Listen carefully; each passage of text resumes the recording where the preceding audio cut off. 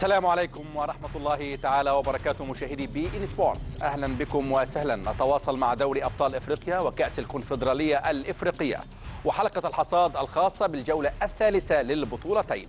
في بداية هذه الحلقة مشاهدينا دعونا نرحب بضيفينا العزيزين. كابتن حسام الحاج علي نجم كرة القدم التونسية ومحلل قنوات بي إن سبورتس.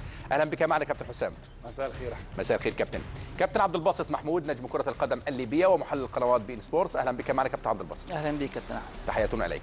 اذا مشاهدينا حوار كبير في جولة كانت ساخنة في كلتا البطولتين، نبدأ الحوار من دوري أبطال أفريقيا.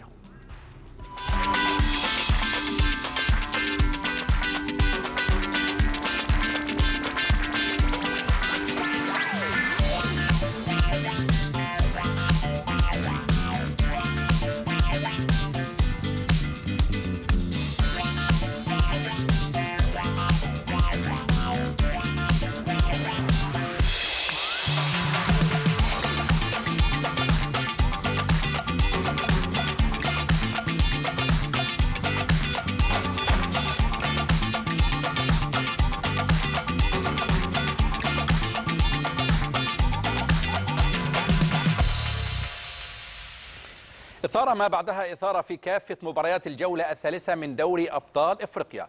قراءة في أوراق هذه الجولة من خلال تقرير الزميل أنور فطناصي بعد أن ظن الجميع وأنه سيخرج مبكرا من هذه المسابقة في نسختها الحالية كذب الفريق صاحب الخبرة القارية تكهنات الجميع وأثبت أن الكبير يمرض ولا يموت. الترجي الرياضي التونسي وبعد هزيمتين في اللقاء الأول والثاني من دور المجموعات في دوري أبطال إفريقيا عاد وانتصر على حساب مواطنه النادي الصفاقسي بعد أن كان متأخرا في النتيجة وتمكن من تسجيل هدفين في دقيقتين متتاليتين. فوز هو الأول لرجال المدرب القديم الجديد سيباستيان دو سابر. الآن هو فوز يعطينا الكثير من الأمل لكننا نعرف أننا لم نتأهل بعد. حققنا ثلاث نقاط فقط والآن أمامنا شهر كامل لكي نعد جيدا ونتأهل للدور المقبل. وبالرغم من الانتصار إلا أن بطل إفريقيا السابق يبقى في المركز الأخير في المجموعة الثانية بثلاث نقاط. النادي الصفاقسي وبالرغم من الهزيمة يبقى في المركز الثاني بأربع نقاط خلف وفاق ستيف الجزائري. الوفاق وبعد فوز على حساب الترجي في الجولة الأولى وتعادل مع صفاقسي في الجولة الثانية. عجز عن تحقيق الفوز على أرضه أمام أهلي بنغازي مفاجأة هذا الدور في المباراة الثالثة. ويحتل أهلي بنغازي المركز الثاني خلف النادي الصفاقسي بفارق الأهداف المقبولة والمدفوعة.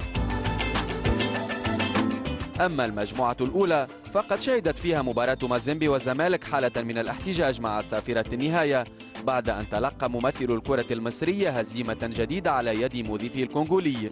هزيمة حمل فيها لاعبي الفريق المسؤولية لحكم المباراة. وعلى خلفية هذه الهزيمة حل الزمالك في المركز الأخير بثلاث نقاط.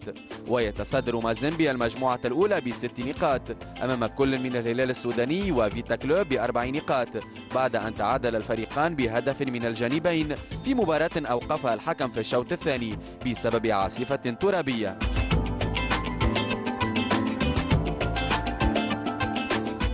إذا أحداث آه، عديدة في هذه الجولة من عودة فريق الترجي الرياضي التونسي في مباراة الصفاقسي اعتراض لاعب الزمالك على حكم المباراة الغاني جوزيف لامتي وأيضا العاصفة الترابية التي أوقفت مسيرة الهلال الذي لم يؤدي بشكل كبير في هذه البطولة. نبدأ الحوار في المباريات كافة. نبدأ في المباراة الأولى كابتن حسام بمباراة الترجي الرياضي التونسي والصفاقسي وفوز الترجي بهدفين مقابل هدف والعودة إلى البطولة من بوابة الصفاقسي أكيد كانت مباراة مصيرية بالنسبة للترجي الرياضي كانت مباراة تحديد مصير لأن كان بالنسبة للترجي الرياضي ليس لديه أي خيار إلا الانتصار لأن نقطة التعادل أو الهزيمة تعتبر الخروج من المسابقة. لذلك الترجي الرياضي كانت مهمته صعبة خاصة في فترة التحضيرات تغيير المدرب عودة المدرب دوسابر الذي أقيل في فترة من الفترات وكانت صراحة بالنسبة لنا قرار خاطئ لأن دوسابر مع الترجي الرياضي كان مقدم جيد نتائج طيبة كان المفروض الإبقاء على دوسابر لا تغيير المدرب ترجي الرياضي صح الخطأ عاد المدرب دوسابر قام بفترة تحضيريه قام بمعسكر جهز الفريق من الناحية المعلومية ومن الناحية البدنية.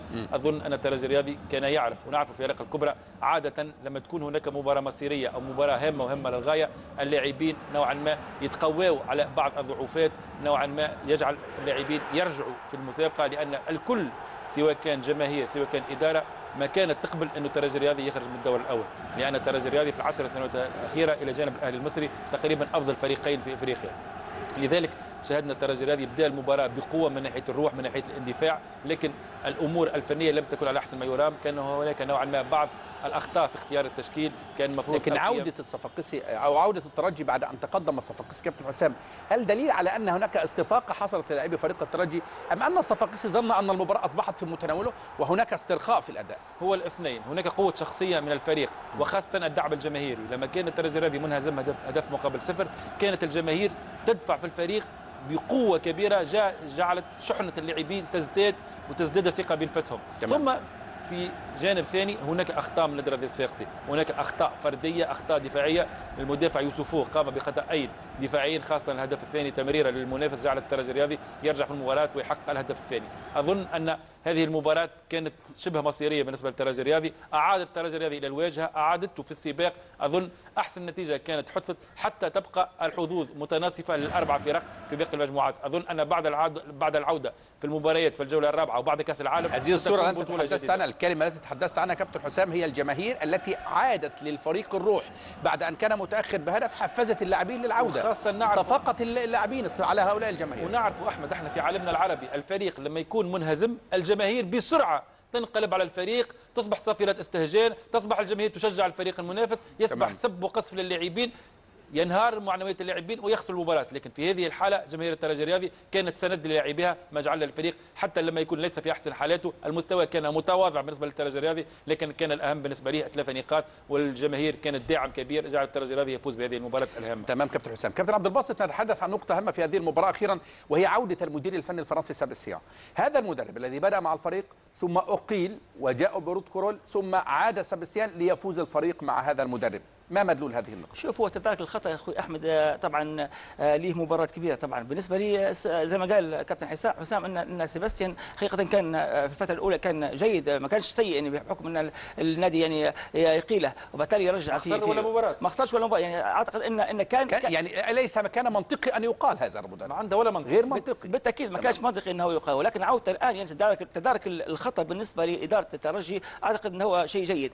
آه خلينا اسمح لي نتكلم على على على مباراه آمس بال- بالأخص يعني. أنا نستغرب إن الترجي في بداية الأمر ما كانش بمستوى جيد رغم أن نحن نعرف أن الترجي من أحد الفرق حقيقة الأفريقية. آه أبطال بطل من أبطال أفريقيا حقيقة. نستغرب إن نحن نشوفه بالوضع اللي المأساوي اللي كان عليه في البداية. تمام. يعني خسارته أمام وفاق سطيف أيضا خسارته أمام آه، آه، الأهلي بنغازي كانت كارثة بالنسبة لفريق ال- آه، الترجي ولكن الآن عودته أمام الفريق ال- الصفاقسي آه، أعتقد إن هي عودة آه، كبيرة. أعتقد إن ال- آه، الترجي الآن يعني قلب آه، موازين هذه المجموعة. آه، زي ما قال حسام إن في الأيام حتكون ال- ال- ال- ال- ال- المجموعة هذه يعني بشكل كبير. آه، أعتقد إن هي ولد صعبة صعب إنك أنت ترشح أي فريق الآن إن هو يكون في في الدور نصف النهائي. وخصوصا كابتن عبد الباسط بعد تعادل أهلي بنغازي مع وفاق سطيف يعني وفاق سطيف المباراة الثانية التي كنت سأبدأ الحديث معك فيها وفاق سطيف كان متقدم ثم تعادل أهلي بنغازي فاشعل استشعر المجموعة اشتعلت بشكل أفضل وخصوصا كمان بعد فوز الترجي على صفاقسي تحدث عن مباراة وفاق سطيف وتعادل أهلي بنغازي. الرائع بالنسبة لمباراه وفاق الصيف والأهلي بنغازي أعتقد ان كان آه، آه، يعني آه، السبب في في رجوع الأهلي بنغازي هو آه، السيد طارق العشري. شفنا في الشوط الأول في البداية كان في فلسفة زايدة من آه، طارق العشري بوضع إبراهيم آه، العبيدي في كظهير أيسر ولأول مباراة يضع إبراهيم العبيدي ظهير أيسر. آه، كان هذا المكان فيه لاعب عبد الرحمن العمامي اللي كان موجود آه، في الفترات السابقة بشكل جيد حقيقة. فقدناه في مباراة الصفاقسي آه، آه، شفنا إن وضع الدفاع بالنسبة لفريق الأهلي بنغازي امام الصفاقسي كان سيء للغاية. آه، رجع في مباراة الترجي كان وضعه جيد حقيقة بالنسبة لعبد الرحمن العمامي ولكن السوء اللي دار بالنسبة للسيد طارق العشري هو ان هو لعب عبد الرحمن آه، لاعب اللي هو إبراهيم العبيدي في كظهير أيسر. وضع اللاعب عبد الرحمن العمامي كلاعب وسط أيمن.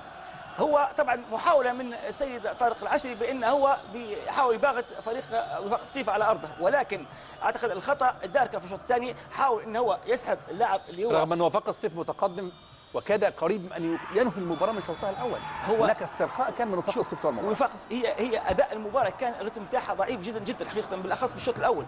ولكن وحتى حتى على مستوى الهجوم أو الفرصه اللي تحصل عليها من فريق وفاق سطيف أعتقد كانت عشوائية. ما كانتش يعني آه، ملعوبة ويعني يوصل بها ال- ال- المهاجمين إلى ال- المنطقة الأمامية. وكان الخطأ من عبد الرحمن العمامي أيضا في الشوط الأول في الهدف الأول بالنسبة لي بالنسبة لفريق وفاق سطيف هو إن هو يحاول إنه يبعد عن الكره يبعد الكرة فجت لل- لل- للمهاجم وسجلها بشكل اللي هو آه، لاعب ناجي.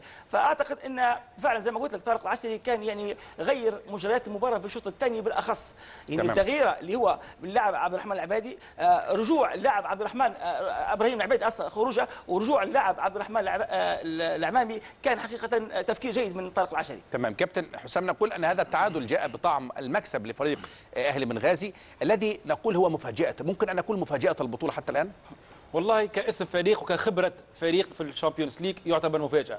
لكن اللي يتابع أهلي بنغازي في مباراة الأهلي في ال Champions League وكيف تأهل على حساب العملاق المصري بفوزه خاصة في مباراة الذهاب والتعادل في مباراة الإياب وكان الأداء أفضل بكثير من الأهلي ذهابا وايابا يعرف أن هذا لا تعتبر مفاجأة.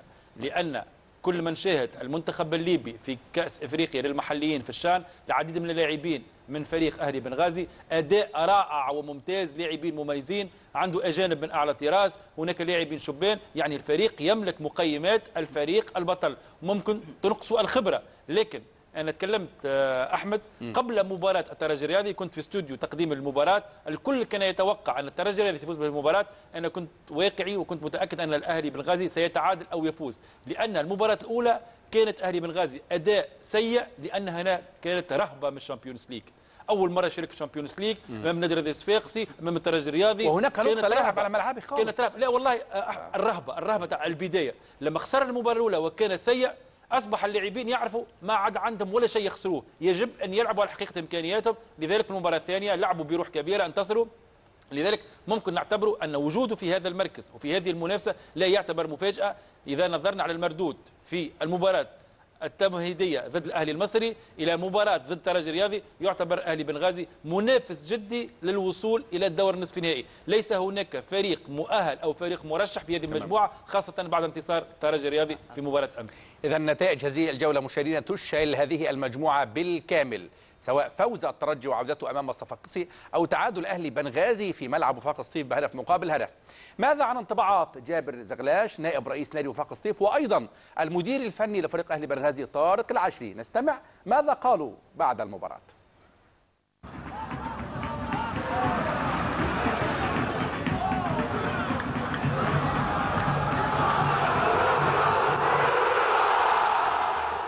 حقيقة هذه في الجولة الثالثة هذه يعني كانت مقابلة مصيرية بالنسبة للوفاق وكانت يعني يعني جب يعني نقاطها يعني لا تقسم على على اثنين.